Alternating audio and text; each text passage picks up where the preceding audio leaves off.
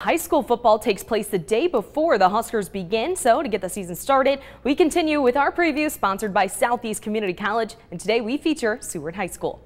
The Class B Seward Blue Jays are entering their eighth season under head coach Jamie Opfer. Seward's season came to a close in the first round of the playoffs last year, but this season, all this team is focusing on is competing with every single team and sticking to their 1% rule of getting 1% better every single day compete, compete every down, every play, every game, every snap, every second, just to compete. That's the only expectation that we have as a team. Um, we want to get better, you know, 1% rule, we want to get better 1% every day. So that's our main goal, just to compete and get better every single day. And you can really see the improvement from, you know, when we first started and now we've gotten a lot better, knowing the plays and physicality-wise.